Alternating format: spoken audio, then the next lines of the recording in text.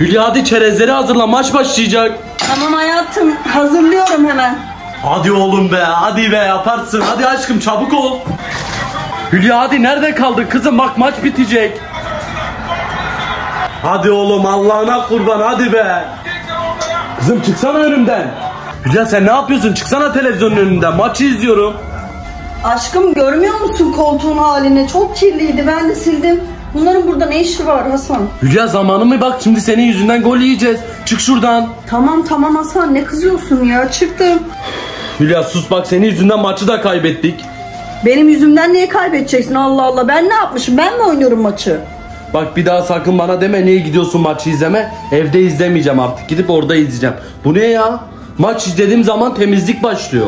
Allah Allah. Tamam Hasan niye kızıyorsun ki? Hülya kızacağım tabii bir maç bile izlettirmedim. Bak senin yüzünden kaybettik. Ben bundan sonra gidip dışarıda izleyeceğim. Sakın